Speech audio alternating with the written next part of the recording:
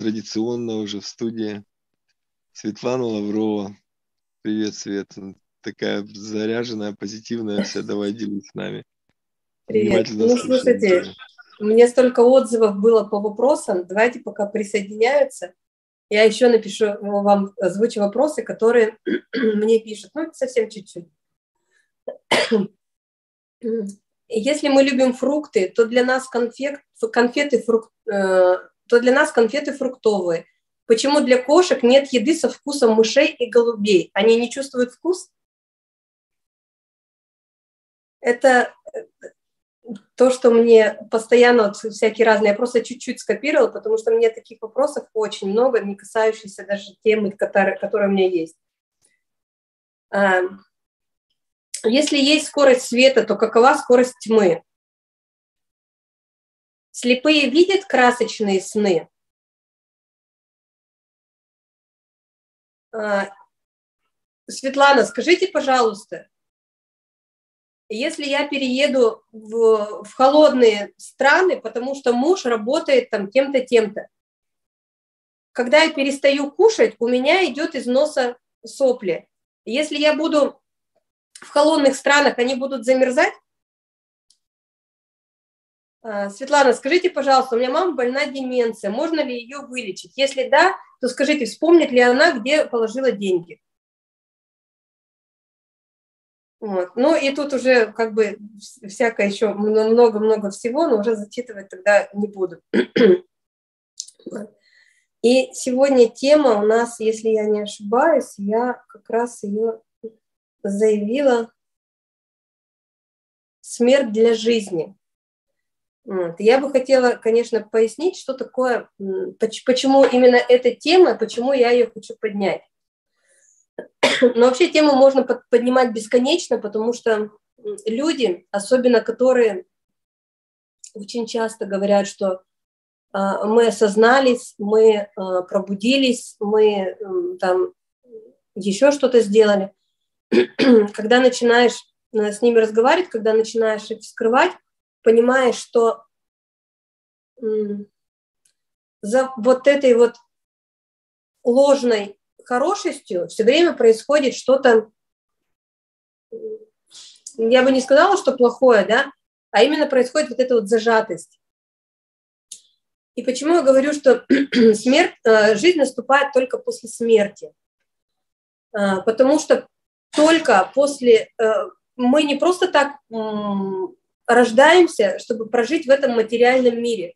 То есть нас очень любят, вот как э, там просветленные, пробужденные, они очень любят отделять себя от тела, не понимая, видимо, тех аспектов, но это мое мнение, еще раз повторюсь, это мое мнение, кто-то может по-другому думать, не понимая, что в этом материальном мире нам это физическое тело дано именно для того, чтобы мы здесь прочувствовали максимально то, что можно прочувствовать этим физическим телом. Потому что если у нас не будет тела, мы не узнаем именно тех аспектов, которые нас выводят на определенные чувствования, которые мы, мы прикрываемся эмоциями. И почему я говорю, что жизнь существует только после смерти, потому что приходит очень яркие осознания. И когда меня спрашивают, что, а что вы чувствуете? Вы что, постоянно в таких вот в состоянии радости, в состоянии благости, в состоянии там еще чего-то? Ну, наверное, скажу так, что я обычный простой земной человек.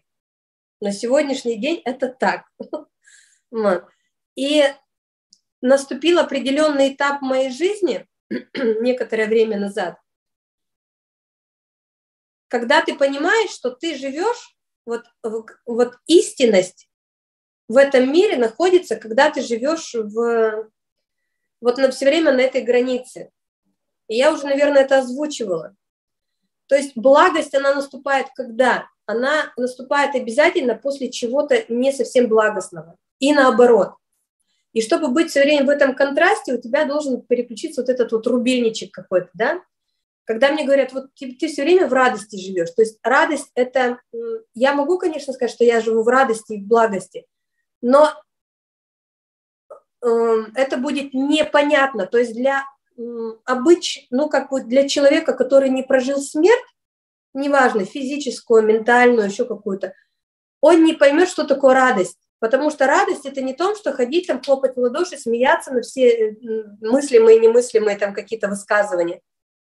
Не э, то, что ты понюхал травинку, и ты счастлив от того, что у тебя там есть нос, и ты можешь вообще эту травинку понюхать. Это не про это.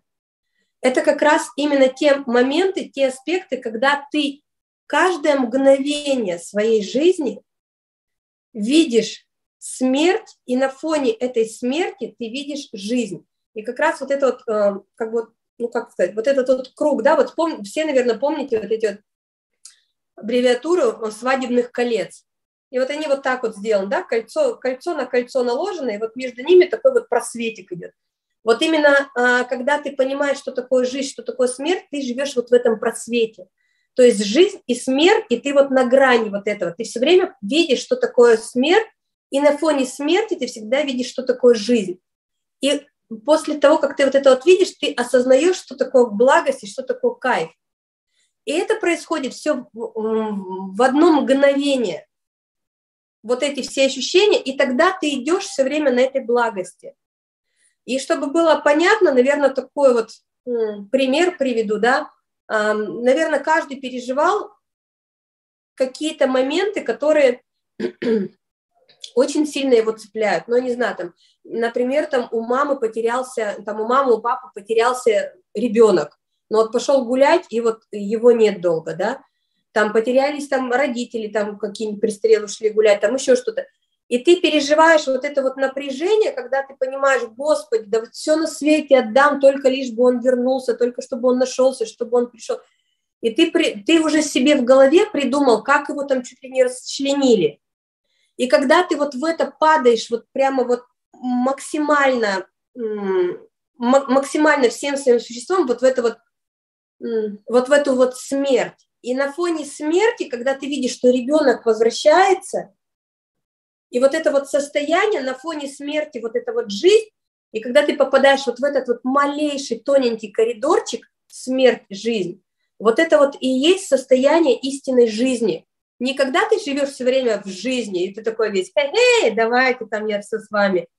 И не когда ты живешь постоянно в унынии, ты все время думаешь там, ой, вот это смерть, вот это может... А именно вот этот маленький, узенький коридорчик между смертью и жизнью, когда ты в него попадаешь, это и есть истинная, а, истинное наше существование здесь. Когда у тебя нет оценочности, когда у тебя нет важности, когда ты четко понимаешь каждое мгновение своего существования, что есть это, что есть это, и вот этот вот стык – это именно то состояние, когда ты не грустишь просто потому, что тебе грустно, не радуешься просто потому, что тебе радостно, а потом, а ты находишься в состоянии вот этой вот благости, которая всегда идет на стыке. Я не знаю, понятно я объяснила или нет, вот, но сейчас зададите вопросы. Вот. И э, как раз, когда мне говорят, а что такое жизнь, ну расскажите, что такое жить, вот я вот весь такой хороший, или я весь такой плохой, или я вот весь такой там еще какой-то. Но вот я не понимаю, вот это вот я, вот я же живу, я же вот это вот. Но мы очень часто путаем существование в нашем аватаре с истинной жизнью, потому что мы думаем, что существование – это те люди, которые абсолютно несчастливы, это которые, у которых ничего не получается – а живут эти, это вот, ну, я не знаю, там, прожигатели жизни, мажоры, да, что вот у них такая жизнь кипит. Нет, это как раз и не то, и не то.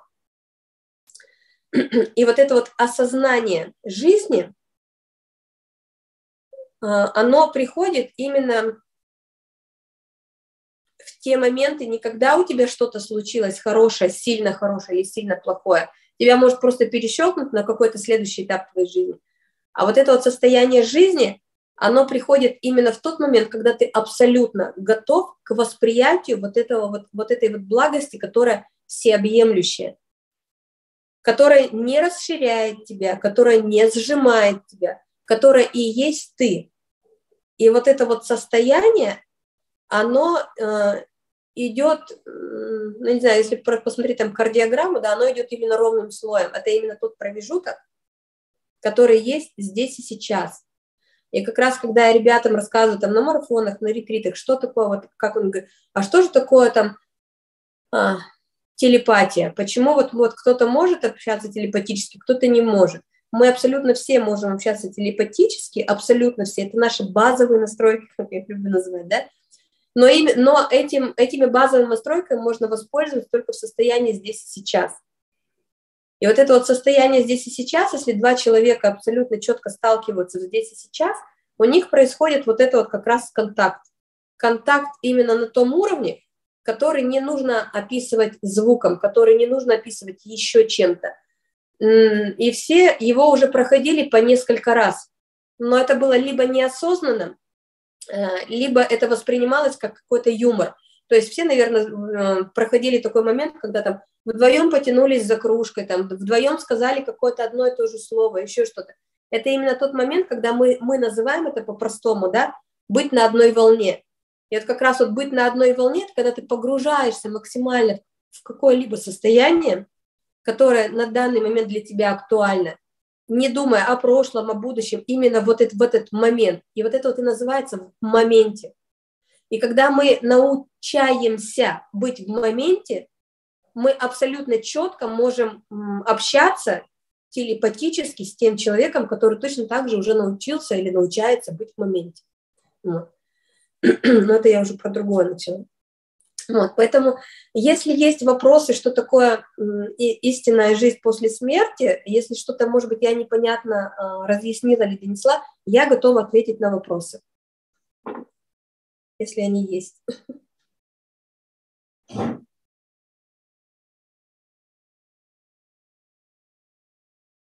Тишина. Ребят, не стесняйтесь, задавайте самые каверзные вопросы, какие вот просто... Чем больше вы вопросов задаете, э, тем больше вы понимаете, что, к чему вы идете, что, вы, что у вас, какой пазл не складывается. Но задавайте только те вопросы, которые... А, в Ютубе есть. Ой, сейчас, секунду. Но задавайте именно те вопросы, которые для вас, не для кого-то. Сейчас, секундочку, я YouTube открою. Привет, привет. Если нам дано чувствовать вкусы, почему мы должны отказываться от еды, от этого доступа? Да, ребят, мы не должны отказываться от еды. Я же ни разу не говорила, что нам нужно обязательно отказаться от еды. Я вас всегда призываю идти дальше. То есть здесь еда, либо не еда, вообще ни при чем. Это инструмент. Когда вы хотите повешать картину, для вас молоток и гвоздь – это инструмент. Вы же не думаете о том, где бы мне купить молоток, где бы мне достать гвозди, где бы мне купить молоток. Вы думаете, как бы мне повешать картину? Вы это достанете, этот молоток с гвоздями, либо кто-то придет, вам поможет, либо еще что-то. У вас есть цель повешать картину. И здесь цель-то ведь не уйти от еды или жидкости. Здесь есть цель у меня лично. Идти дальше в познание самой себя, потому что я уже говорила, что раскрытие на клеточном уровне это совсем про другое. Это вообще не про еду. Эти, эм, вот то, что мы в общем принятом понимании вот это вот состояние пробуждения, просветления, я их путаю, просветление, да, которое вот это вот максимально, это же не конечный этап. Это, вот вы идете, например, в, вот образно объясню, да, вы, например, идете в коридоре чего-то там, и видите дверь, вы ее открываете, и вы там пробудились. Вы такие, о, я знаю, что еще есть просветление. Вы идете дальше, открываете, вот оно просветление. И вы просветляетесь. И когда вы просветляетесь, у вас э, наступает иная жизнь, она, она тоже благостная, она тоже кайфовая. Но очень многие застревают вот на этой благости. Это не хорошо, не плохо. И вот на этой просветленности как бы остаться. Но есть еще дальше коридор. Вы можете пойти, а можете остановиться здесь. То есть просветление – это не конечный этап. Это, и когда мы говорим о неедении, это абсолютно не конечный этап. Это абсолютно не про то, что нужно к этому стремиться. Это инструмент для того-то и для того-то. Кто-то туда идет на еде, у кого-то это получается. Просто у меня не получилось на еде, и все. Это не говорит, что это хорошо или плохо. Это, и когда вы говорите, ну зачем отказываться от вкусов? Незачем. Если хотите, пожалуйста, Просто когда вы переходите на следующие уровни себя, вы понимаете, что вам просто еда и питье оно просто неинтересно. Вы можете это есть и пить, но для вас это не предоставляет интереса. Когда для вас это не интересно, вы что делаете? Вы идете дальше. Если мы раньше собирались там э, детками, да, и из листики там срывали, и это были наши денежки, нам же это было интересно. Кто вам сейчас мешает э, оборвать это дерево и сказать, это мои денежки? Но вам уже это не интересно. Вы понимаете, что это не актуально, не интересно. Это не принесет того-то и того-то. И вы это просто не делаете. То же самое с едой. Ешьте, пока вам естся.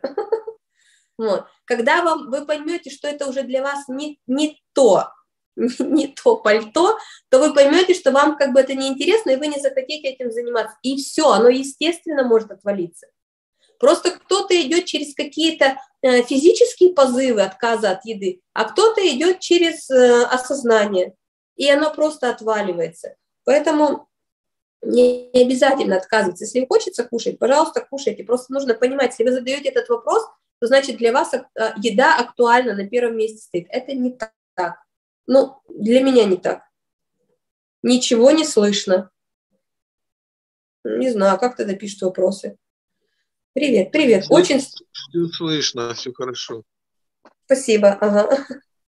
Очень сложно жить в этом коридоре всегда. Много стресса от постоянного ощущения смерти рядом. Не-не-не, это неверно. Значит, вы не в том коридоре. Когда вы находитесь в этом коридоре, то у вас нет сложности, вы четко понимаете, куда вы идете. И вы идете просто по своей тропиночке. Вы идете по своей тропинке, и это уже не, нет уже сложности, это все просто. Мы просто привыкли все время находить те вещи, которые где-то э, где спрятаны. А то, что он у нас лежит на поверхности, мы почему-то все время думаем, что если на поверхности, значит это ерунда. Мы этим пользоваться не будем. Это немножечко не так опять же, по моему опыту и по моему э, мироощущению. Поэтому, когда мы как раз живем в этом коридоре, у нас, наоборот, все легко.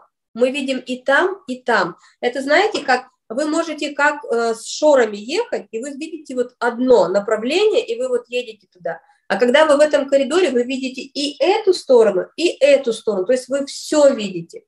И тогда вы четко можете выбрать, можете сюда пойти, можете сюда пойти. Но если вам комфортно идти так, то вы будете идти так. Это не через усилие идет, это не через то, что нужно, ой, нужно вот идти по этой полосочке, не дай бог там на, оступиться, и там куда-нибудь я не, не в ту сторону заверну. Это не про это, ребят. Светлана, я помню, как кто-то докапывался э, к вам с носом, и стало смешно, а потом просто радостно от осознания, что все имеют место быть. Ребят, у меня такой голос, может быть, он гнусавый, может быть, еще какой-то, но вот он у меня такой есть, от этого, ну, это мое, поэтому уж, ну, либо терпите, либо не слушайте. Поэтому вот ничего с этим сделать не могу. А что в конце коридора? Как, как конечный этап что? Я не дошла до конечного этапа. Я сейчас на самом на самом-самом-самом начале моего пути. Это я могу сказать однозначно. Светлана, какие явные ощущения пробуждения? А, я вообще не люблю эти слова, вот эти вот пробужденный, просветленный, но это, видимо, назвали как какой-то критерий, чтобы понимать, да.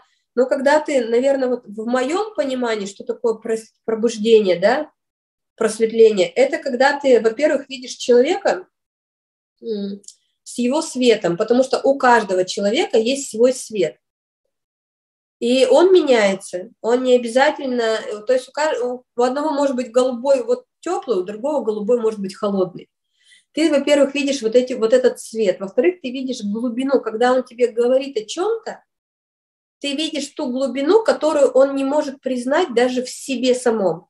И ты это видишь, то то есть ты его как бы настолько пропускаешь через себя – что ты вот эти моменты видишь. Ну, то есть тут много вот этих моментов, которые раньше для меня были не, акту... не, не том, что не актуальны, которые я не могла понять. Это в том числе и когда ты вот после вот этого пробуждения, что я считаю, пробуждение, просветление, ребят, не, не знаю, путаюсь в этих словах, это когда ты начинаешь уже заглядывать в клеточку себе, и когда ты на клеточном уровне, когда ты понимаешь, что, вот смотрите, я тоже ребятам рассказывала, на ретрите мы будем это делать с ребятами а, в практике. Когда вы например, эм, вот каждый, каждый цвет имеет свой запах. Э, вот все, что нас окружает, вообще все, оно имеет свой запах. А в носу у нас как будто бы второй мозг. То есть вся информация, которая у нас скапливается, она скапливается вообще не в голове. И когда мы пытаемся поменять голову, пытаемся поменять что-то там, осознание пройти через голову, это настолько ерунда, мы настолько путаемся сами в себе, и мы как эти, как, эм, как жабки в своем болоте постоянно, и никуда не идем. Мы не можем выбраться, и другого, если будем тянуть, затянем, и сами не можем выбраться. Вот это как раз про это, потому что вся информация, которая у нас есть, она проходит через нас, не через голову. Она проходит именно через тебя, через, я не знаю, как говорится, как вот, э, знаете, поговорка бывает э, такая есть, нутром чую. Вот это именно вот про то, когда ты чувствуешь всем своим существованием. Не телом, то есть не телом с, э, с четкой очер, очерченной формой, а именно всем собой, когда ты это чувствуешь. И когда мы говорим, например, о запахах, то есть мы, мы можем вот через нос, мы можем закрытыми глазами, это тоже наши базовые настройки, мы можем закрытыми глазами через нос прочувствовать э, каждый, каждый запах, каждый цвет, не просто почувствовать там, ой, этот на, на завтрак ел яичницу, ну понятно, а у тебя раскрывается история каждого каждого, даже если взять, например, человека, да, вот он, например, пахнет, э, он, когда он говорит что-то, у него вырабатываются, не знаю, феромоны, это, наверное, называется, у него вырабатываются своеобразные феромоны, и ты чувствуешь, когда он говорит, когда он лжет себе неосознанно, когда он говорит правду, когда он чего-то боится, когда он чего-то не договаривает. И это идет через запах. Ты абсолютно четко чувствуешь это даже через нос, можешь это чувствовать. И ты не просто это чувствуешь, а у тебя выстраивается целая, целый роман. Он тебе говорит про одно, а ты уже понимаешь, что за этим всем следи, стоит только через нос. А представляешь, сколько у нас органов чувств есть, которые мы, про которые мы даже не знаем. И если мы вот их будем постепенно хотя бы раскрывать, почему мы говорят, вот, что люди боги? Потому что когда мы это постепенно раскроем, это будет просто такая вселенная. И сейчас, конечно же, когда вот он идет там, где-то там шашлычки поел, где-то там он подумал там, ой, мне вот это вот надо, мне вот то надо, мне, я вот, э, вот здесь вот я все знаю, мне вообще рассказывать не надо. И после этого он говорит, я Бог, я как бы сын, да, дочь Бога, я как бы, я из их рода, я Бог. Ребят, это не про это вообще. Когда мы говорим, что мы боги, это именно про то, когда мы научаемся себя раскрывать максимально внутри, изнутри себя достаем. Это просто настолько глобально, это просто настолько обширно. Если бы мне сказали это хотя бы полгода назад, то что я буду вот, вот, например, такие моменты ощущать и раскрывать, я бы, наверное, для меня это было, ну, тот момент, может быть, и не было бы какой-нибудь там вау, но мне бы было это интересно. А если бы два года назад рассказала, сказала, о, сумасшедший, все, у них уже куда-то крыша уехала. Потому что мы настолько себя не знаем. Это вот то же самое, что, я не знаю, даже какой пример привести, но мы себя, наверное, знаем всего на 5% от того, что мы есть. Я бы даже не сказала, что на 20%. Вот сегодня, возможно, я подбираюсь к 7% познания себя. И чем больше я вот иду, тем больше я понимаю, что я знаю, что я ничего не знаю. И когда вот я туда иду, и меня спрашивают, а вы идите? И я понимаю, что это, это такая ерунда, какая разница? Это вообще не про это. Немножечко туда зайдете, и для вас будет еда не актуальна. Захотите, будете есть, не захотите, не будете есть. Это то же самое. Я ходила в валенках. Зимой я ходила в валенки. Знаю, что такое валенки, знаю, как в них ходить. Но я переехала в Сочи, я летом валенки не одену.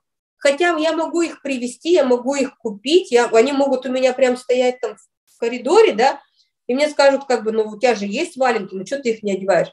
Мне не хочется их одевать, мне будет в них жарко, мне будет в них некомфортно, это как бы не туда и не сюда. И про еду то же самое. Когда вы постоянно задаете вопрос про еду, это вообще не про нашу жизнь. Еда вообще не про нашу жизнь. Это про те аспекты, про те крючочки, которыми нас зацепили в свое время. И когда вы идете дальше, от вас эти крючки отлетают самостоятельно. Как только вы себя расширяете, эти крючки с вас слетают. Вы можете их через силу воли снимать, а можете через осознание. Это уже ваш выбор. Так.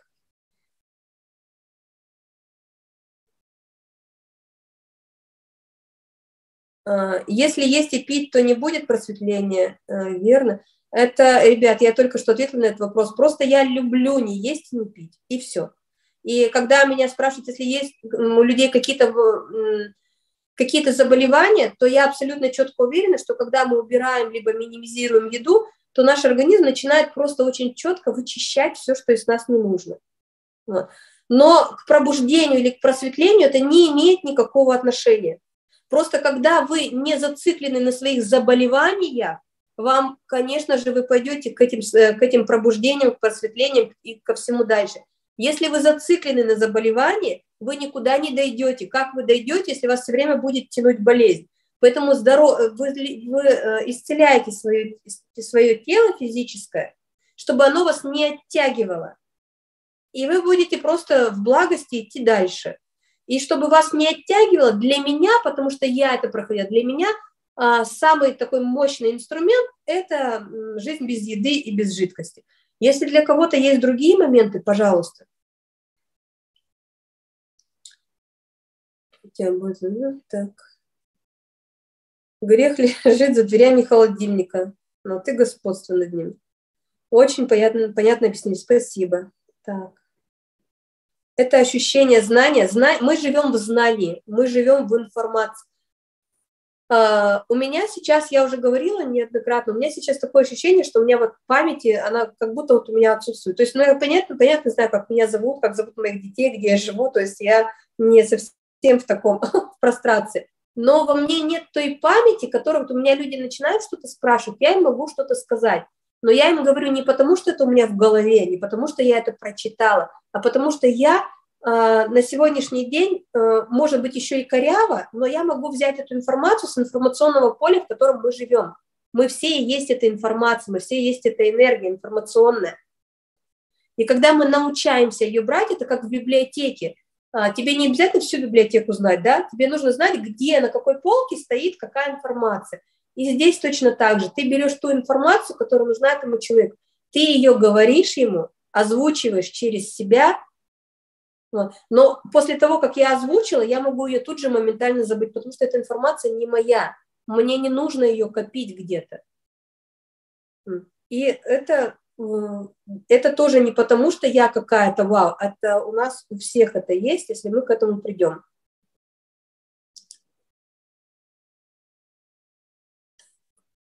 Переписка между собой.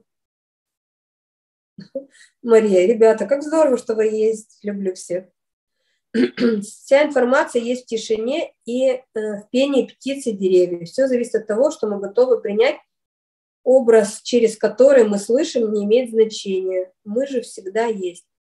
Э, ну да, только тут тоже далеко не заходите в тишине. Когда вы заходите и говорите, что есть тишина, значит, есть и не тишина. Это опять разделение. Чем больше у вас будет разделений, различных, тем больше вас будет вытягивать в эту материю э, и зацеплять э, в этой в обыденности существования. Поэтому, когда говорят вот глубина, тишина, темнота, это, ребят, тоже такой э, своеобразный крючочек, который нас немножечко бывает не туда заводит. Поэтому тоже с этим нужно быть осторожным. Был такой опыт, когда почувствовала неприятный, как будто гнойный запах энергии одного человека. Через время узнала, что он совершил преступление. Это стало понятно, что в ауре информация прописана. Да. Все сводится к тому, что для продвижения в развитии отказ от еды лучший старт. Для меня так, я не могу сказать другого опыта. У меня был только такой опыт. Поэтому для меня так, для кого-то, возможно, я знаю людей, для кого, для кого это было по-другому. Ну, вот так вот.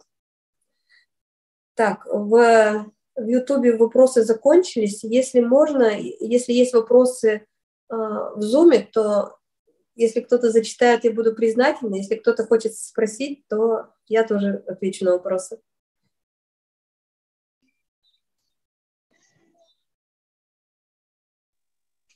У меня вот есть вопрос, Светлана. Угу. Знаешь, я никак не могу понять, что же нужно такое делать, если не на силе воли ну, отказываться от еды, чтобы еда сама отвалилась.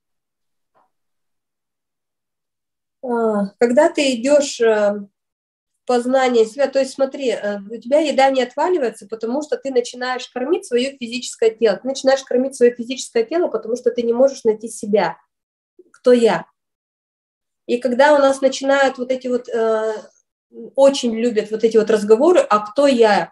а я есть все, а все есть я, а я не физическое тело, а я не то, а я не это. Есть, мне кажется, самый-самый доступный метод, чтобы вообще познать, кто я. Вот просто сесть, эм, когда тебя вот не будут трогать, там, ну, не знаю, ну, хотя бы полчаса, тебе, наверное, этого хватит. Э, и вот просто задать, вот, кто я? И когда ты начинаешь говорить, кто я, вот начинаешь задавать, вот, кто я, и когда ты начинаешь уходить в глубину, то есть кто я, и ты начинаешь, я есть то-то, это сразу же голова говорит. Опять, ищи себя. Если ты начинаешь искать там, вот я есть вот это, вот я есть вот то, вот я есть темнота, тишина, э, мозг, голова, там еще что-то, это все время через ум. Вот опять же, да, вот кто, вот, вот я сейчас вижу, кто идет, я иду. Я иду, я это кто? И вот когда вы вглубь этого вопроса прям вот нырнете, кто я есть, и вот да, если вы дойдете до конца, у вас прям вот как тумблер щелкнет. Я не могу вам сейчас сказать, потому что если я вам скажу, я вам как паттерн вот за, за, закину, и вы будете это искать. Ну, понятно, что Но это, это да, это как бы в эфирах очень сложно объяснить. Это очень хорошо объясняется на а, на ретритах, когда ты есть, ты уже чувствуешь, что человек вот готов вот эту вот ступеньку вот на, перейти, вот это, ты ему подсказываешь, и он сразу же тынц и выстегивается. А здесь я тебя одного проработать не могу, а ты не такой, как все остальные. Все остальные не такой, как ты. И это каждый начинает пиджачок примеривать на себя. И когда мы начинаем чужую вещь примеривать на себя, чужие знания, чужие осознания, то нас всегда закидывает а, в его рамки, и мы мало того, что мы из своих не можем вылезти, мы еще и в другие попадаем. Вот это немножечко не то. И вот когда ты себя находишь, как бы ты говоришь, почему, как вот я вообще, когда ты себя находишь, когда вот себя находишь, это тоже такое очень грубое выражение, то есть не себя находишь, когда ты вот эти вот приходят, вот это вот осознание, ты понимаешь, что есть развитие дальше. Когда ты идешь в развитие дальше, для тебя просто неинтересно становится еда и жидкость. Ты можешь кушать, ты можешь кушать раз в день, ты можешь кушать раз в неделю, ты можешь даже кушать раз в месяц.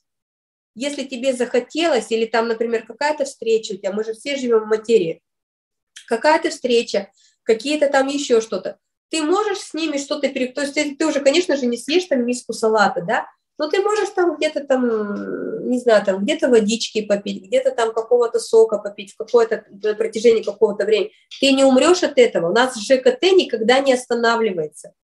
Оно просто работает на лайте, то есть у нас ничего не останавливается. Оно работает по-другому, и внутренние органы просто они приобретают свой первоначальный вид. То есть они как бы немножечко зажимаются, почки подтягиваются, потому что их уже не оттягивает вот это вот постоянное перемалывание чего-то почки немножечко подтягиваются там, где они должны быть. Почему? Э, ну, не буду показывать, трагивать эту тему. И ЖКТ, он работает на лайте. То есть мы же, когда разговариваем, мы столько всего в себя потребляем, просто то, что мы это не жуем, как кусок мяса, это не говорит о том, что у нас это не должно выводиться.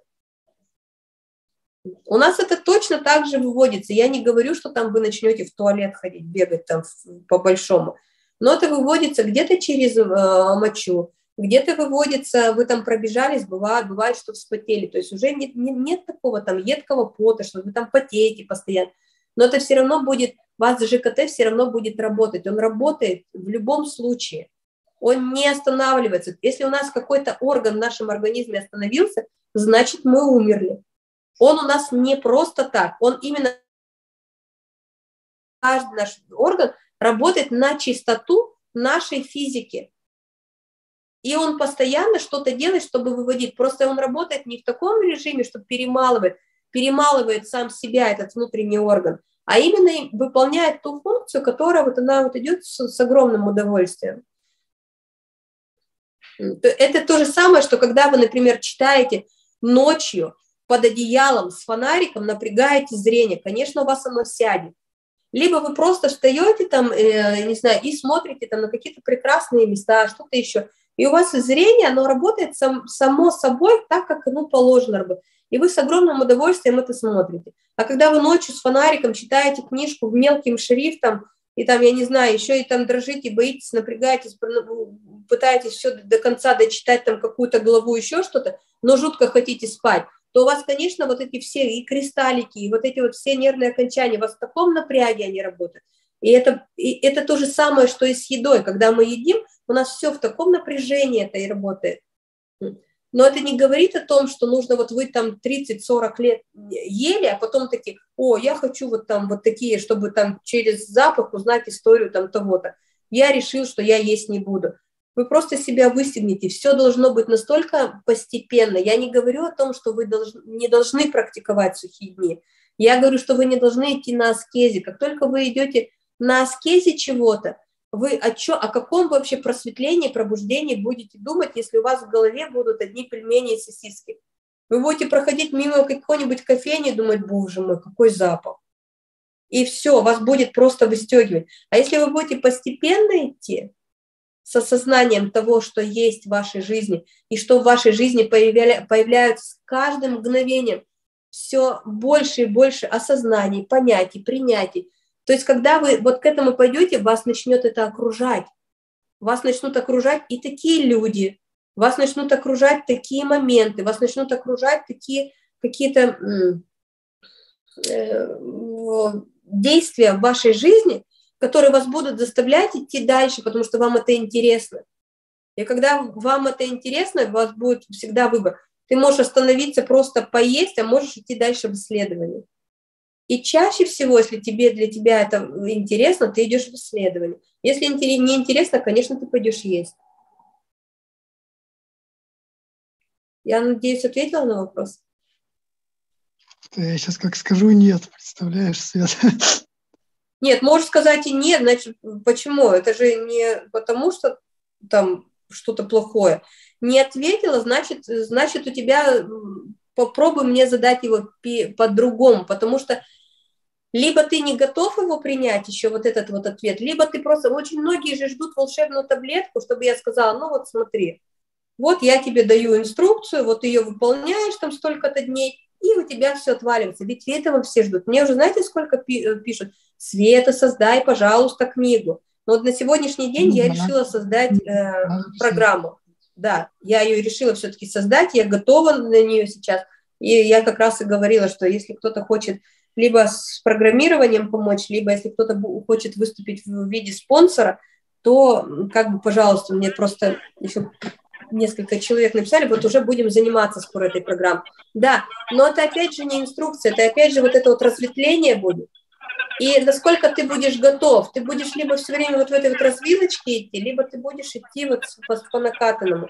Просто те вещи, которые я говорю, не каждый готов их принять.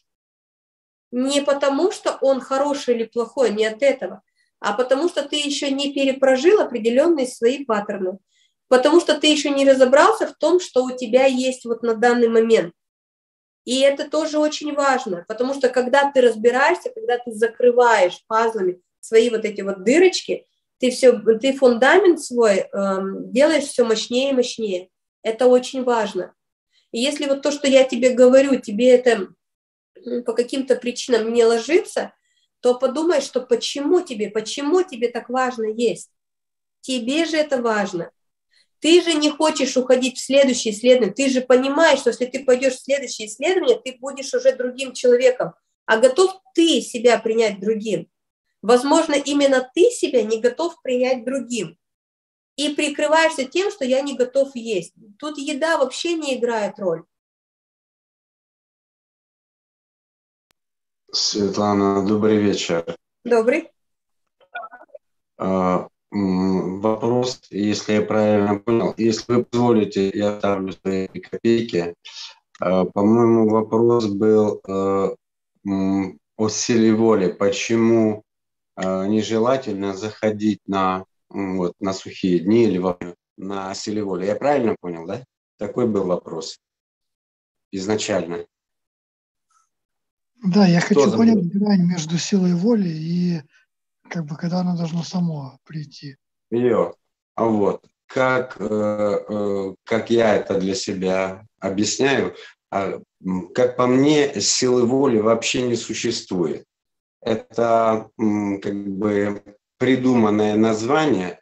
Я объясню почему. Если у меня достаточно энергии, вот достаточная энергия, то, то, что, то, чему говорят сила воли, это достаточное количество э, наличной энергии, личной энергии. И если у тебя достаточно этой энергии, ты только определяешь, что ты хочешь делать. Хочешь, идешь бежать, идешь бегать, идешь плавать, идешь заниматься музыкой. Вот, я не знаю, там занимаешься каким-то творчеством. То есть, если у тебя достаточно энергии. Я вот сейчас вспоминаю себя, когда я был на всеедении, я просто понимал, что по утрам это хорошо, как врач. И когда вот после тяжелых там э, ужинов утром просыпаешься и говоришь, если бы я так хотел, как э, не хочу. То есть не было достаточной энергии. Поэтому, когда я слышу, что нужно тренировать силу воли, но до сегодняшнего дня я ни от кого не услышал, как она тренируется. Это по поводу силы воли. Значит, вопрос в дефицитарности энергии. А энергия у нас где уходит? У нас уходит энергия через питание, через разговоры и через отсутствие э, физических тренировок. То есть там ослабленный пресс, и там вытекает энергия ну, полным ходом. И последнее, что я хотел сказать, как я для себя вот решил этот в свое время переход, вот два года назад в этом зуме, то есть э, я четко определил для себя жизненные ценности. У меня в жизненных ценностях две вещи. Здоровье и самопознание. Это по факту самопознание, это ради чего мы сюда пришли. А здоровье – это основы, то есть они как бы взаимодополняют. То есть если у меня э, в ценностях есть здоровье и самопознание, то э, я как бы для себя определил понятие здоровья. Здоровье – четыре фактора. Еда, физическая нагрузка, э, стретчинг или растяжка и в наших условиях закаливание. Вот. Для людей, для широкой публики, живо, э, для живого тела живая еда. Все, это точка как бы. А уже в нашем э, понимании, то есть мы уже не едим, э, кто идет на автономию то есть как бы э, здоровье и самопознание. Следующий шаг. Если у меня это определение, у меня появляется мотивация. У меня появляется огромная мотивация в самопознании и быть здоровым.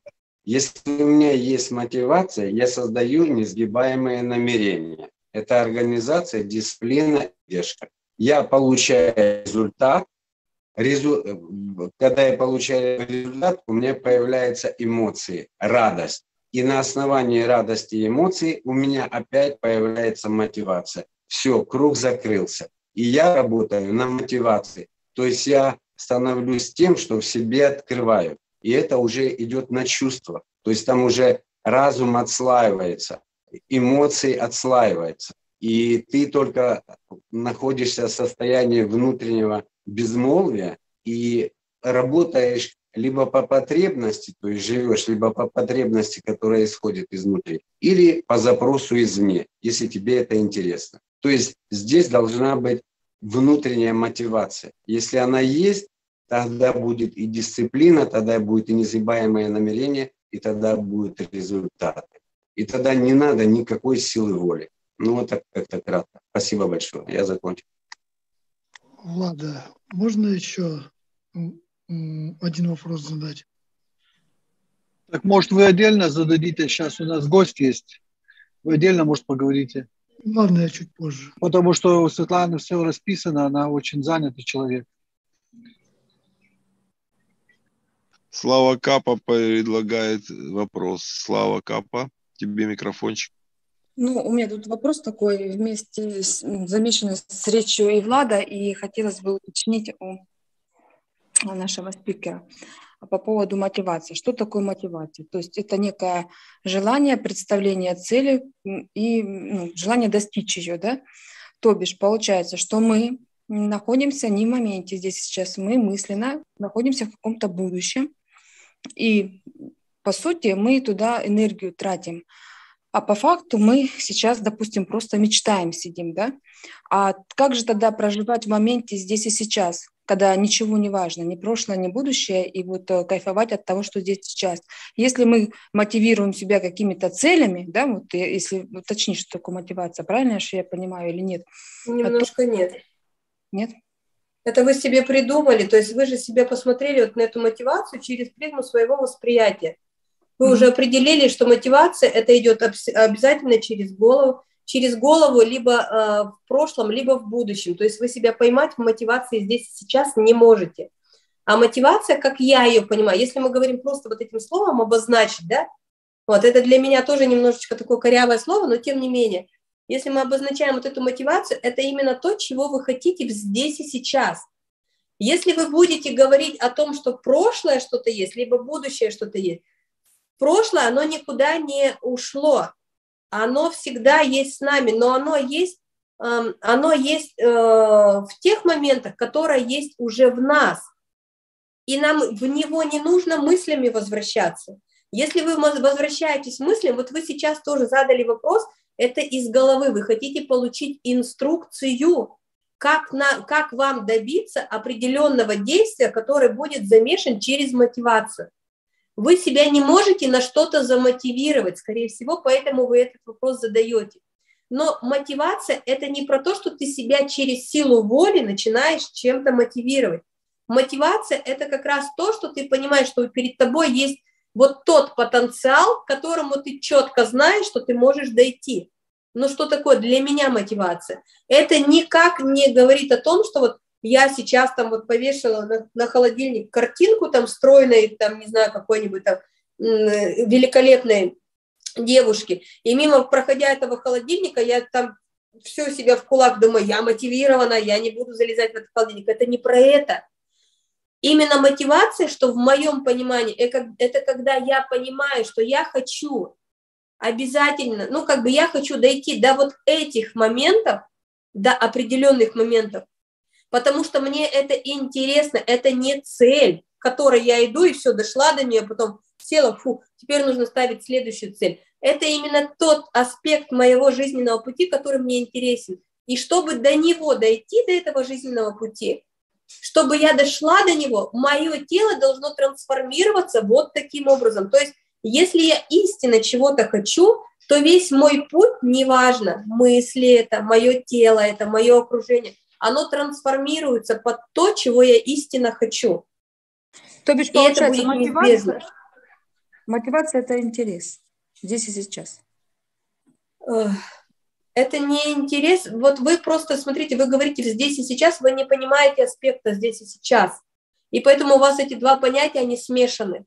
Вы говорите про здесь и сейчас, предполагая внутри себя, что здесь и сейчас, это я осознаю, как я сижу, как у меня на сегодняшний день льются, там, э, льются по моим венам кровь, как я чувствую э, ветерок на своей коже, как я еще что Для вас это здесь и сейчас. И когда вы говорите про мотивацию, что должно совершиться там через какое-то определенное время, у вас идет нестыковка пазлов, потому что вы не понимаете состояние здесь и сейчас. Это здесь и сейчас, это не про то, что прямо физические аспекты чувствовать. Здесь и сейчас, когда ты начинаешь проживать то, что есть в этом мире, это немножечко, это, это не немножечко, это намного больше вот этого состояния, про которое нам все говорят.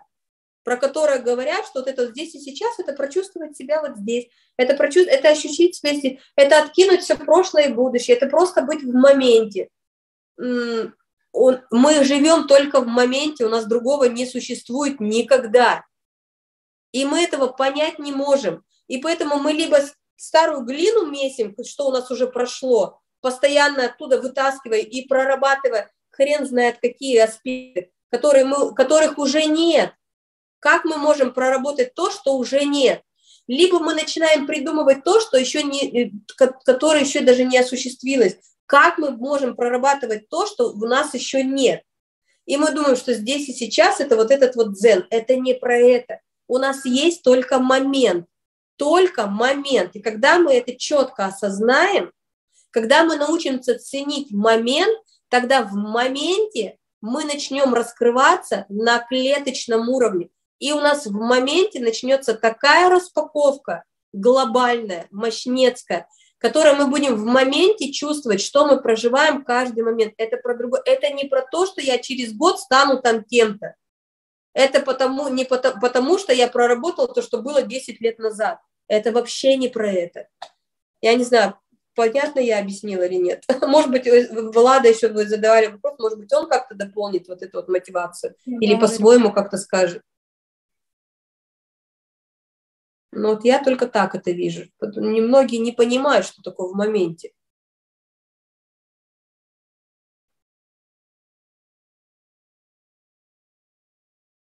Я ответила на ваш вопрос?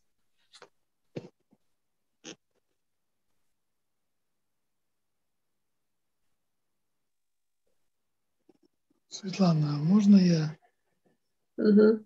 как-то уточню свой вопрос? Потому что с твоим ответом-то я согласен. Меня интересует, вот я после ответа Влада я понял, ну, как бы, что вопрос нужно задать прям в прикладном понимании. Вот я э, и так уже у меня вся еда, ну, как бы, я ее ем просто, ну, знаешь, чтобы не началась чистка.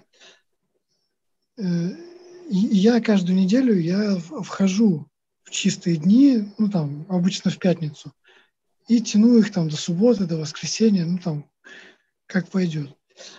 А, и вот мне интересно, а, есть ну, несколько граней, ну, ну, таких, знаешь, рубежей. То есть я могу э, быть на чистых днях, пока вес не начнет, ну, там, падать. А, или я могу быть, пока не начнется какая-то ну, сильная слабость, когда мне уже ничего не хочется делать, а только хочется лежать, ну и ждать, пока там чистка пройдет, пока энергия вернется. И, и вот у меня вопрос в чем? А, вот этими еженедельными там 1, 2, 3 дня, что я практикую, а, я могу как бы дочистить свое тело и там вот, ну, проработать сознание, понять, зачем я ем и все прочее, до того состояния, когда мне действительно уже вот. Нет, ты не можешь. У тебя есть зацикл... Ты, ты к чему идешь-то? Вот смотри, ты же меня не спросил, как прийти вот к этому, как прийти вот к этому сознанию, как прийти вот это. У тебя зацикленность на еде. Пока ты ее не уберешь, еда здесь ни при чем. Когда ты идешь заниматься бегом, неважно, какую футболку ты оденешь, на ноги, на твою пробежку это никак не отразится. Понимаешь? Вот у ну, тебя сейчас, у тебя рассчитано, в, каких, в какие дни ты заходишь в сухие дни. У тебя рассчитано, что ты там уже вот это не, что я, у меня будет очистка тела, у меня будет вес, у меня будет это. То есть у тебя столько-столько все, всяких пунктов, которые касаются еды. Ты не ешь-то, чтобы что. Ну как, чтобы что? Мне нужна, ну, я цель, почему я хочу научиться обходиться без еды, в том, что у Шумшука нас обучают ну, особым практикам, и ну, некоторые из них требуют, ну, чтобы тело было, ну как это сказать, ну, подготовлено, чтобы оно могло пропустить те энергии. Потому что те, у кого тело не готово, они это делают, они даже энергии не чувствуют, перебирают, и тело просто загорает. Я, давай тебя остановлю. Я не знаю, кто такой Шимшук, правда, не знаю. И когда ты, э, ты себе выбрал кумира, определенного кумира, на которого ты на сегодняшний день просто а, опираешься. Это его видение. Ты не можешь видеть его глазами. И пока ты будешь опираться на Шемшука, на меня, на еще кого-то, ты никогда не увидишь это своими глазами. Твои глаза на сегодняшний день, твое восприятие на сегодняшний день закрыто полностью – ты всегда, ты сейчас ориентируешься, вот тебе сказали, вот там, вот иди по красным меткам, придешь туда. а у тебя, например, не приспособлена обувь для, для той тропы, но ты четко будешь идти вот по той тропе, по которой тебе сказали, и ты все ноги в хлам сотрешь. Хотя мог бы пройти по другой тропе, где предназначена именно под твой рост, под твой вес, там, чтобы не нагибаться под эти палки, еще что-то. Но ты по нему не пойдешь, потому что тебе сказали идти по красным тряпкам. И пока мы не научимся выкидывать вот эти вещи, то есть это хорошо, когда ты прослушал кого-то, ты для себя, ты, мы, э, ты не научился вот этот вот сухой остаток выдергивать чтобы понять, что твое. Вот из этого всего, всего, всего. То есть ты говоришь, вот у нас там практики, вот у нас там это, вот у нас там это. Ты балуешься, ты не идешь э, к самому себе, ты балуешься другими практиками. Ты, ты все время себя уводишь, чтобы не прийти к себе. У тебя другой вопрос. У тебя вопрос не в еде, у тебя вопрос не в практиках. У тебя единственный вопрос, который ты должен задать самому себе. Почему ты боишься встретиться с собой? Почему ты так упорно хочешь заниматься хоть чем попало, ну не чем попало, как бы они, скорее всего, великолепные практики, я никого не хочу обидеть, но ты все время э, пытаешься от, э, сделать то, что не приведет тебя к себе. Ведь ты глобальный, ты больше, чем ты можешь подумать, ты настолько большой, что ты даже боишься встретиться с собой. Ты вот это вот просто осознай, потому что когда ты встретишься с собой, у тебя просто все перевернется, потому что ты даже не ожидаешь, насколько ты обширный, насколько ты глубокий. И тебе страшно перед самим собой. И ты себе придумываешь все, что угодно, только чтобы не пойти на контакт с собой. Потому что это все твое мировоззрение, к чему ты так стремился, какие ты практики делаешь, оно просто все обнулит. Ты, ты вот на сегодняшний день в тебе есть такой огромнейший потенциал, который ты просто боишься выпустить. Потому что ты понимаешь, что если я выпущу, а справлюсь ли я с ним? И если ты пойдешь своим путем, ты с ним справишься. Если ты пойдешь чьим-то путем, даже если ты выпустишь свой потенциал, ты с ним не справишься, он тебя съест.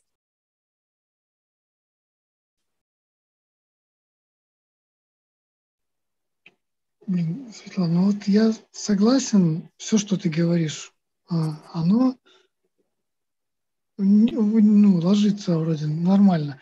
Но я все равно, блин, не понимаю,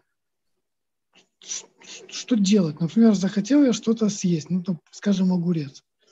Я должен понять, что я этим огурцом хочу заесть, то есть какой, я не знаю. Нет, смотри, это вообще не про это. Вот ты сейчас об этом не думай, просто через пару дней пересмотри эфир, прослушай еще раз, что я тебе сказала, попробуй это осознать. Но если не получится, либо марафон, либо ретрит, forever, У тебя ну, другое, у тебя не про еду. Твоя жизнь вообще не про еду. Найди себя, Твои... там, почувствуй себя и так далее. Я пытаюсь, пытаюсь, ну, у него получилось. Не надо чувствовать себя. Нет, ты идешь не тем путем. Ты, эм, ты вышел не на, не на свою тропинку, ты вообще не туда идешь. Тебе нужно другую распаковку себя. Это вообще не касается еды. У тебя еда отвалится, она, ну, как минимум, минимизируется на вот прям до, до, до, до самого минимума. У твое тело, оно не, не, как бы оно готово жить без еды. Ты не готов найти себя. И прикрываешься любым одеялком. Одеялка еды, одеялка это, одеялка то.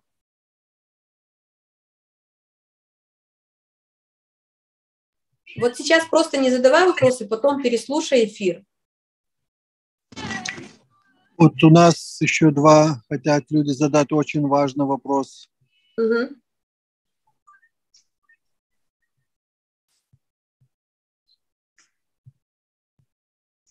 Готово. Макси?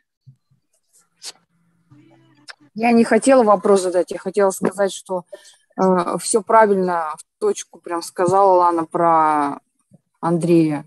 У него очень много кумиров, а на самом деле он очень крутой, а поверить в это не хочет. Просто вот в точку. Я ему все время говорю, выкинь там всех братьев, там, всех выкинь, все, ты самый лучший. Просто хотела добавить.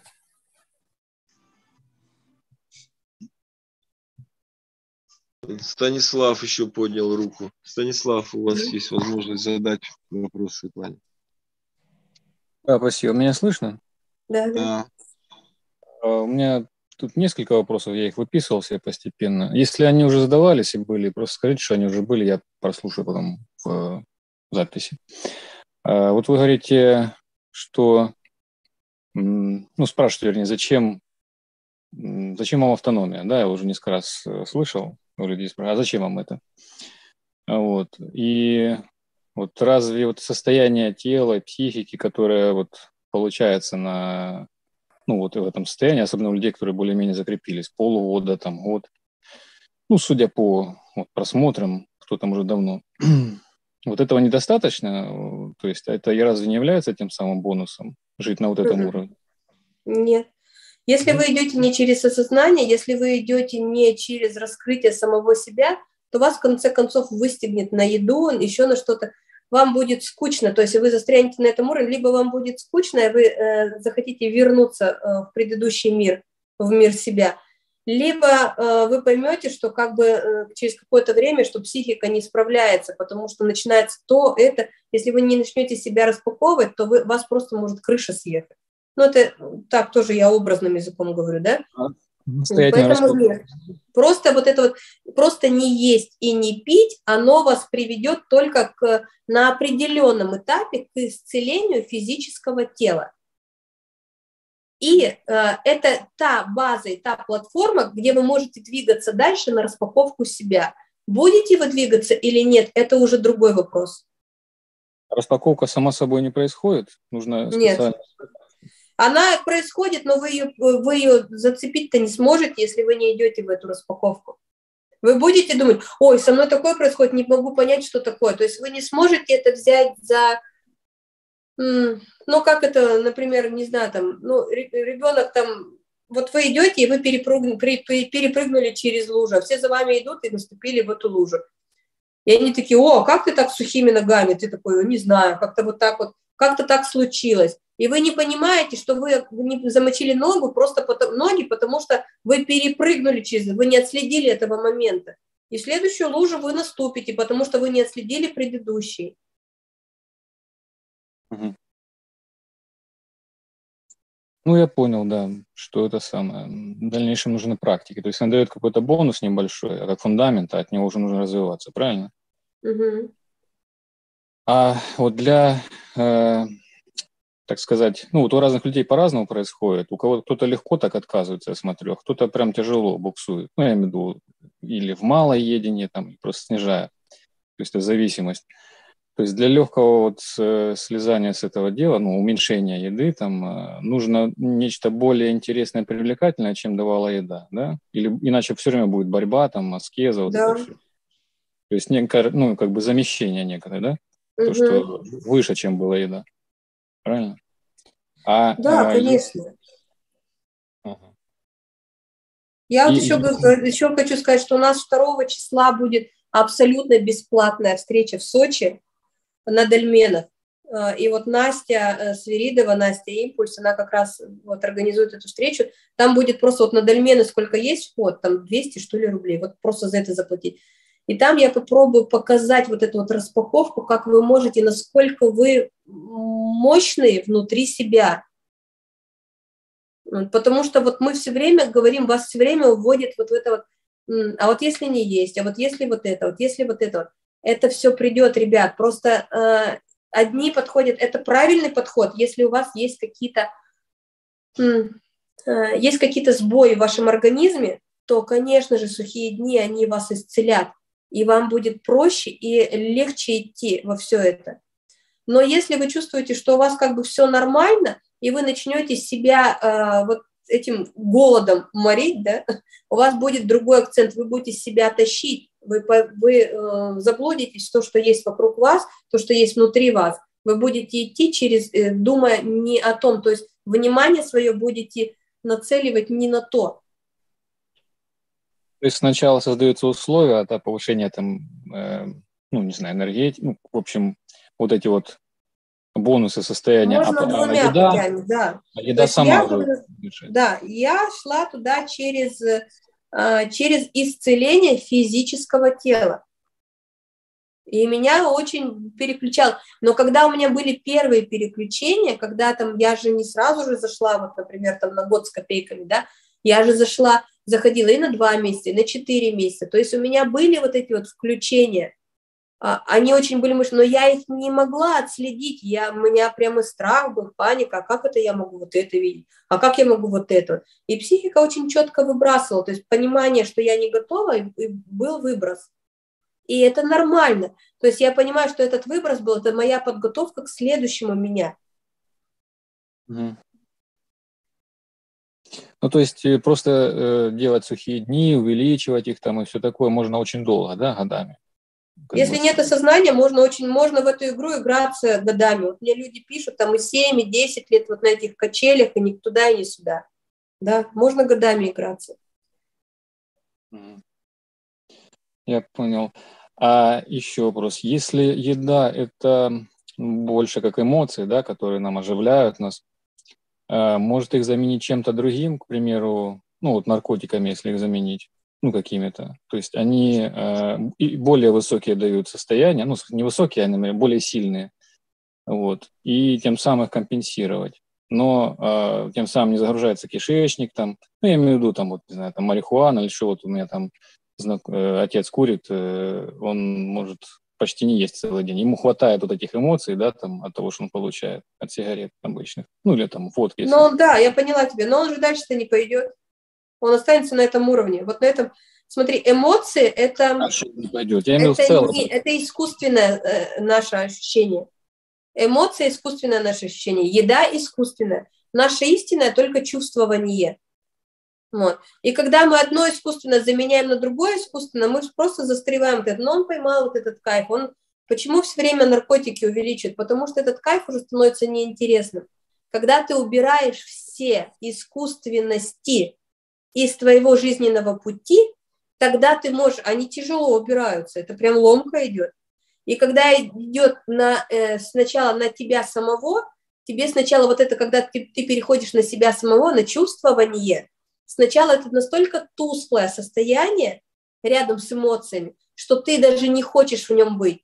Но это не, э, не чувствование. Мы очень многие не знаем, что такое чувствовать. Мы думаем, потому что когда чувствование истинное раскрывается, вот там уже наступает вот это вот такая гамма всего. Тогда ты уже понимаешь, что вот эта вот эмоция, которая там тебя раньше выхлестывала там в одну и в другую сторону, это такое ничто э, черно-белое по сравнению с истинным чувствованием, которое есть в тебе.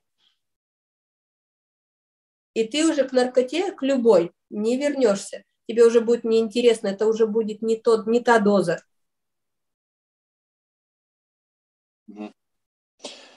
Я понял, хорошо. А э, вот еще у состояния вот это вот, которое ну, слабости, подавленности, которая на сухих днях, да, там, когда заходишь, э, оно связано с физик, с физическим состоянием или больше с психической, с привычкой вот этой вот, ну, ментальной?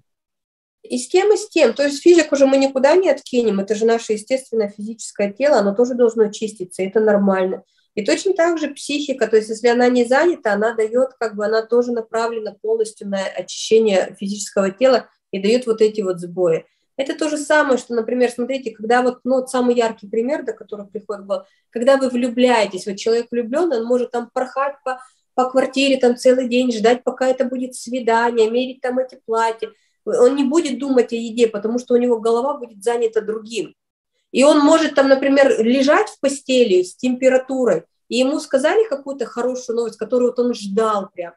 Все, у него никакой температуры не будет, он побежит, он, он будет счастлив. То есть что куда уходит?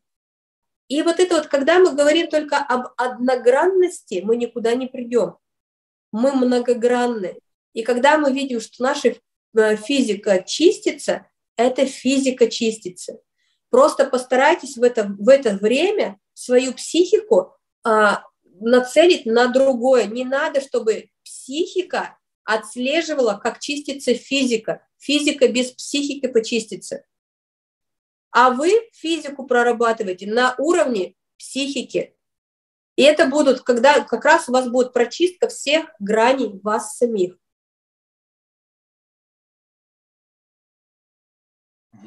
Ну, в общем, я понял, да.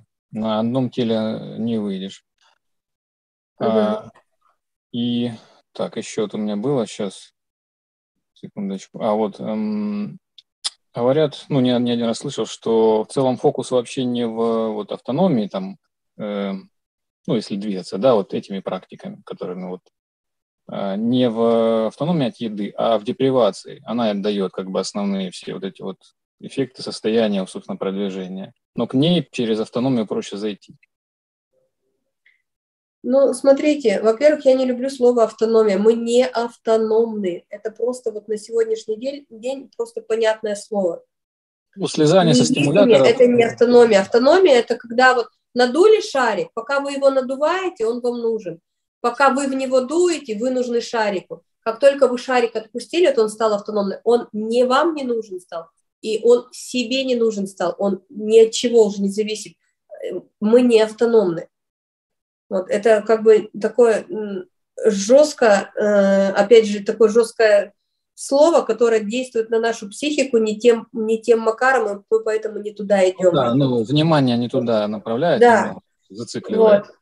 Это как раз автономия. А второй, второе, что автономия и что еще? Ну, депривация, в ней фокус. А, депривация, да.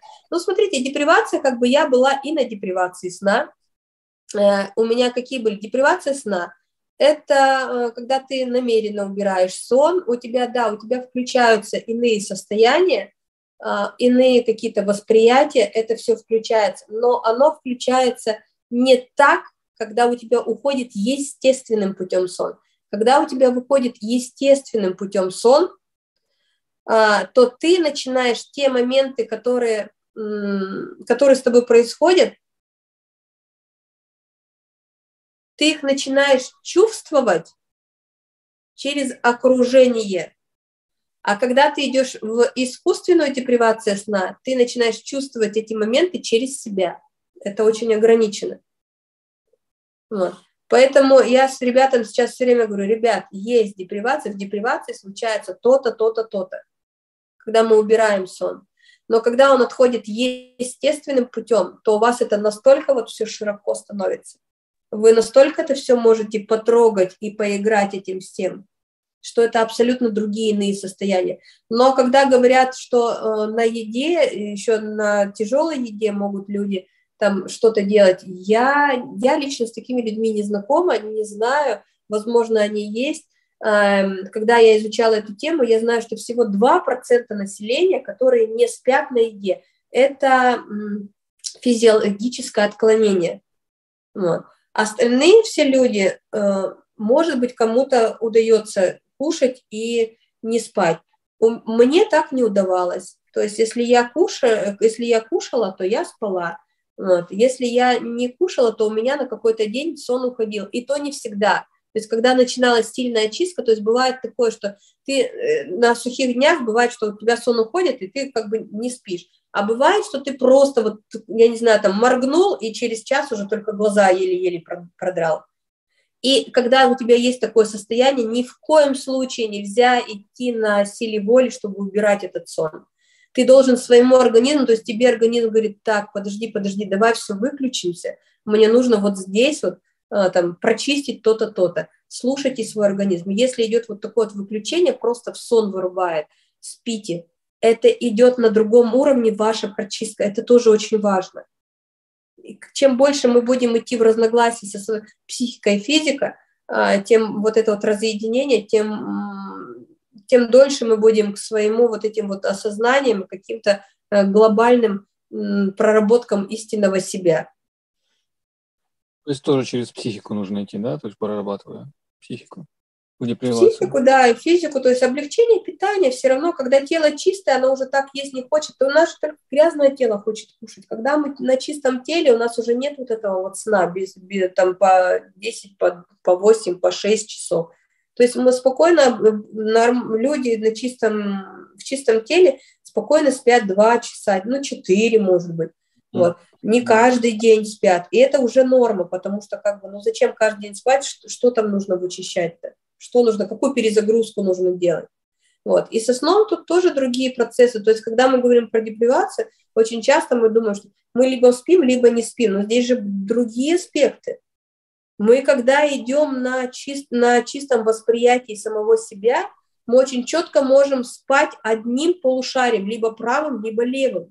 И мы очень часто засыпаем, не дво... вернее, всегда мы засыпаем каким-либо полушарием. Сначала одно отключается, потом другое. Но потом уже в процессе мы можем единым, полуш... одним полушарием только отдыхать, так скажем, да?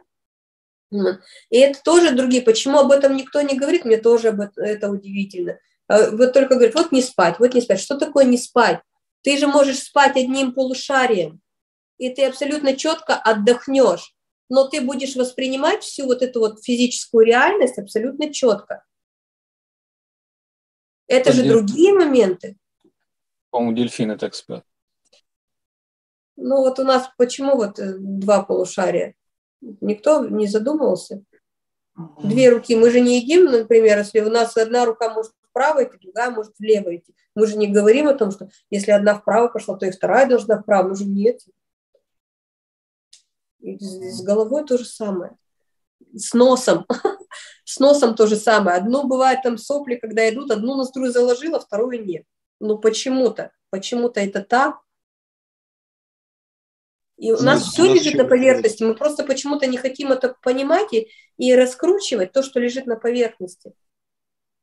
Еще вот у нас вопрос от Генри из Киева. Станислав, вы закончили у вас? Я короткий последний задам и все. Давайте, э, давайте. Светлана, а вы до всего этого, до того, как вы вошли во все эти дела, вы любили поесть и поспать? Любимые блюда? Очень, конечно. Да? Я даже никогда не планировала туда вообще идти. Где я сейчас? Ну, оно само просто отвалилось, да, там как детские какие-то там. Да нет, почему? Я же через болезнь зашла. Мне, от меня отказались врачи. У меня есть э, на, на канале очень много видео, где я об этом да, рассказываю. Помню, я, я смотрел. Но сейчас не тянет ни поесть, ни поспать, что это забылось, как в прошлом каком-то, да? Да, оно не забылось, я спокойно хожу. Вот мы с, с ребятами ходим, вот, а мы каждый день заходим в кафе, там они кушают. Мне приятно смотреть, что у них вырабатывается определенный спектр эмоций определенный спектр чувствования того, что они, что они делают. И это другие ощущения, это приятно, но как бы самой что-то в себя закинуть у меня нет желания. Просто нет желания. Не потому, что это прошлый день, не потому, что я себя ограничиваю, не потому, что я не, не нахожусь в этой, в, этой, в этой атмосфере. Нет, я точно так же живу. Просто у меня э, другое. То есть, если кто-то пошел в штанах, это не говорит о том, что я не могу одеть платье. Понимаете? И здесь вот тоже то же самое, как бы я могу поесть, но мне это не интересно, мне не хочется. Я понял. Хорошо, спасибо большое. Я закончил. Спасибо. Свет, ну что, еще вопрос от Генри, да? По времени Давайте, ага, еще последний вопросик, и я побегу. Да, Генри из Киева. Прошу вас, включайте микрофончик, задавайте свой вопрос. Здравствуйте, Светлана. Здравствуйте. Меня зовут Геннадий. А, хотел э, а, узнать у вас технологию, как вы входите в состояние здесь и сейчас, я так понимаю. А, ну вот когда сильное желание, какое-то глубинное желание, вот, э, когда вот не получается, ну, вызывает какие-то болезни, вот, э, и это является мотивацией. Вот. Думаете? А, вы хотите узнать мою технологию или вы хотите сами побывать в этом состоянии? Ну, сначала вашу, а потом и... А моя технология вам что даст? Вот смотрите, а, вот очень часто вы, вы всегда уходите от самого себя. Всегда уходите от самого себя, потому что вы не нацелены на себя, вам, вам важно, что делают другие. Почему процветают вот эти вот соцсети, процветают еще что-то? Потому что человек очень зациклен на другого. Вам же не интересно, а, какой бумагой, с какой рукой, с каким запахом, вкусом, цветом человек какой-то вытирает попу. Потому что вы четко знаете, как это, что, что вам нужно, чтобы вы ходили там с, с чистой, да? И вы не ну, спрашиваете его. А здесь вы спрашиваете потому, только лишь потому, что вы туда не можете прийти. А вы туда не можете прийти, потому что вы не нацелены на себя. Как бы вам сейчас обидно это не звучало, но вы, не, э, вы себя-то не нашли, вы не идете к самому себе.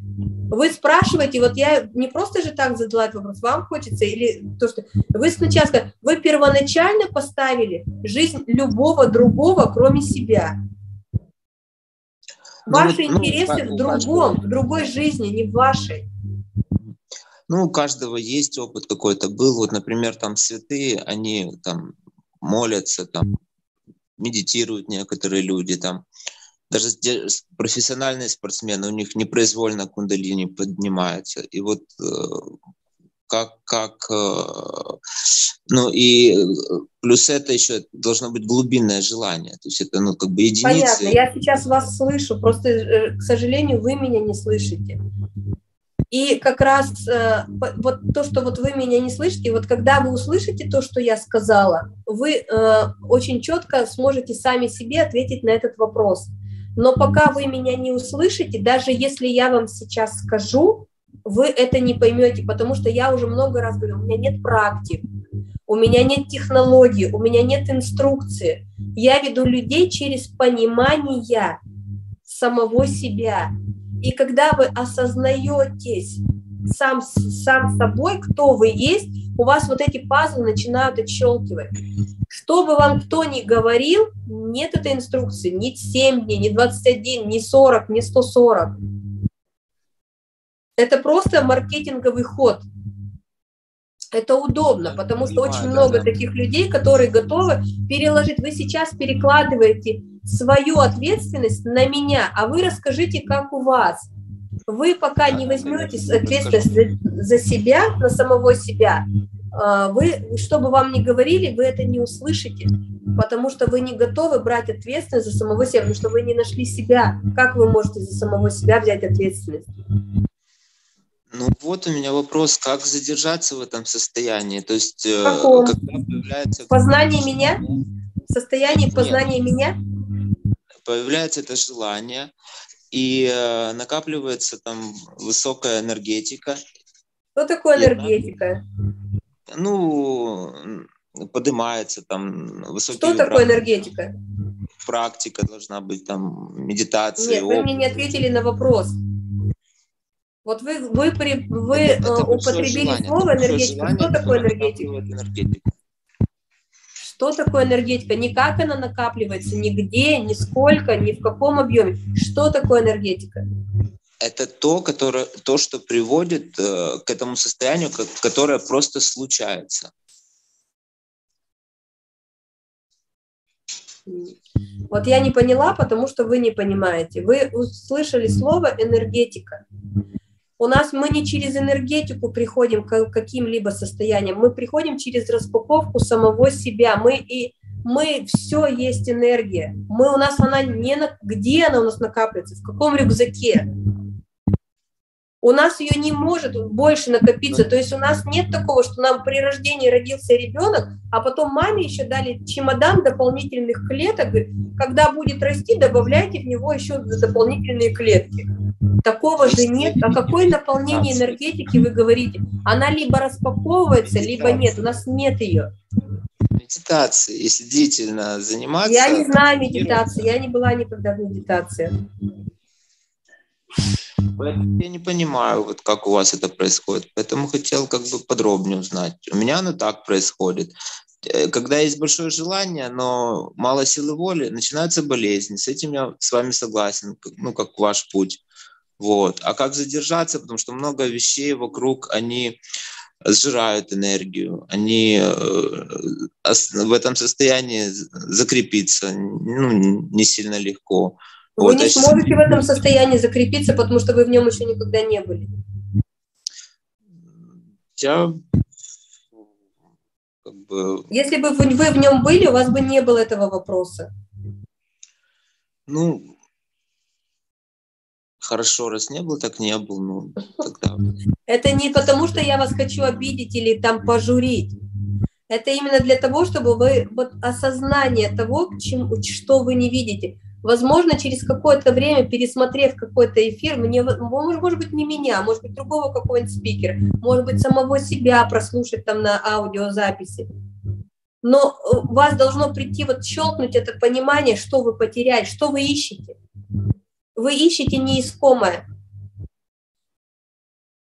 Хорошо, а что вы ищете? Какое я искомое? Я не ищу. Я никогда не говорила, что я в поиске чего-то. Ну, я тоже ничего не ищу. Все нормально. Ну, Поговорили, вот и хотел узнать по поводу практик остановки дыхания. Вот, э, например, Рида рекомендует вдох, вдох, задержка дыхания, концентрация на моменте. Кто-то говорит на носе кончика. Доктор предлагает нестабильные поверхности. Невозможно вообще мысли какие-то, чтобы присутствовали, когда человек стоит вот в равновесии, например, на канате где-нибудь вот такое что-нибудь тоже помогает понять, что такое момент здесь сейчас, когда нет мыслей. Может быть, это ты имел в виду, доктор? У нас просто Слава Капа еще подняла ручку. Может, позволим ей еще вопросик? Или уже все? Давайте.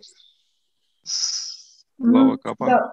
Ладно, вы, вы говорите, э, я прям увидела вопрос, который прям напрашивается. Как распаковать себя? Как понять себя? Вот как это сделать? Ну, ребят, я еще раз говорю, вы мне задаете вот этот вопрос, я вообще об этом говорю каждый эфир. И если вот нет, не, вот эти вот сливки не снимаются вот с той, с той речи, значит, вы еще вот к этому не готовы. Я не могу э, всем дать один рецепт. Я могу сделать поверхностно. Вот именно поверхностно я вам всегда говорю, как это сделать. Если вы хотите идти глубже, если вам интересно э, мои высказывания, то нужно тогда приходить, чтобы я с вами работала на, на, вот на этом плане. То есть в, в общих эфирах проработать сразу всех, это, ну, это уже понимаете, что это нереально.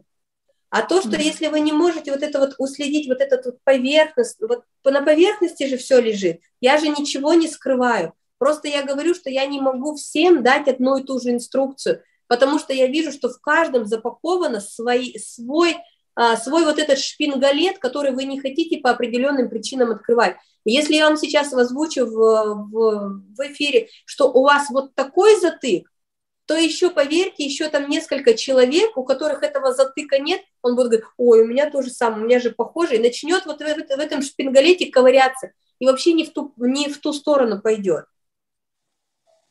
То есть это индивидуально получается, если вот хочется... Мы все индивидуальные. Это нет инструкции. Если была единая инструкция, она была бы уже написана. Ясно, благодарю. Сигнал, можно еще мне вопрос один позитивный? Это у, у Светланы спрашиваете, можно или нет, Светлана? Давайте. Светлана, ну перед, перед вопросом, я думаю, помните, вы говорили на прошлой неделе, что к вам женщина просила с палаткой. Да. Так я думаю, что вам придется тут побольше палаток. Хорошо, у меня вопрос, знаете, какой? А вот как вы, э, сейчас, сейчас, как вы смотрите, не, как, э, окей, э, как, э, окей, Э, как вы с животными, не, не как вы с животными, а как животные э, подходят к вам. Как чувствует ваш животное, Жора. вот так.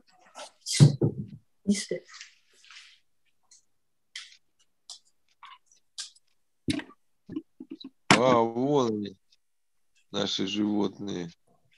Овчарка восточноевропейская, да, хорошенькая. А Немецкая. Немецкий парень, старенький уже. Парень старенький. С животными я хорошо, я люблю животных. Животные любят меня. Вот как животные вас любят? Любят. Да, да. Хорошо любят. Вы чувствуете это, да? Или мы все любим, но как животные вас любят? А, ну, ну вот э, я как могу, я рассказывала уже, да, что когда вот мы до вот этого переезда, куда мы сейчас переехали, а, мы жили в частном доме, ну, в доме, и у нас в доме постоянно, у нас было миллион кошек, у нас все собаки, которые местные, они вплоть до того, что они находили себе какие-то дырки, лазейки, у нас по три, по четыре на, на территории по три, по четыре собаки жили, непонятно какие. То есть они к нам придут, видимо, какие, какие-то определенные свои моменты урегулируют энергетические, так скажем, да, и потом уходят и сменяются. То есть у нас все время, вокруг нас все время много животных. Ну, вокруг нас это я предполагаю себя и детей, потому что я же с ними живу. Вон. То есть у нас, у нас животных всегда много. Но если вот, например, идем по улице, и животные какие-то, то, ну, вот, я не знаю, там, но они как бы хорошо к нам, нет такого, что там полали, еще что-то. Наоборот, подходят там к собаке, гладятся, там, кошки за нами там уходят. Но не, не до безумия, то есть нет такого, что я иду, а за мной вереница, за мной целый зоопарк там. Нет. Но это как бы обычно, и ну, я бы не сказала, что что-то такое прям вычурное. Вот. Но то что, э, то, что животные чувствуют, это абсолютно четко, абсолютно точно. Если, например, вот были несколько случаев, когда вот собака там чего-то там боялась или э, лаяла на людей, то можно было спокойно к ней под, подойти, там ее погладить, и она успокаивалась. Вот эти вот были несколько случаев у нас на предыдущем месте. Вот мы с детьми там одну собаку сбили, мы там ей вызывали Э, ветеринарку, то есть она никого не подпускала, лежала сбитая, насколько подпустила, вот что э, мы ее держали, вот там э, ветеринары привезли, там ставили укол, они сразу сказали, если будут держать, мы поставим, если никто не будет держать, мы не поставим. Вот, то есть мы вот два раза вызывали ветеринарку там сбитым собакам, то есть вот это вот было, спокойно реагировали, то есть подпускали нас собаки. А так, чтобы там какие-то вот случаи из ряда вон выходящие, как бы не могу прям сказать. Светлана, большое спасибо вам. Спасибо большое вам за приглашение. Да, будем на сегодня закругляться, да, наверное, хороший да. длинный сегодня эфир, интересные вопросы были. Ребят, всем спасибо. Слушатели Зума тоже пишите вопросы, Светлана всегда отвечает. Все контакты по поводу ретрита, все под видео. Встретимся Все, в Спасибо огромное. Приезжайте на бесплатную встречу в Сочи и в Геленджик. В Геленджике будем после 6 числа, в Сочи 2.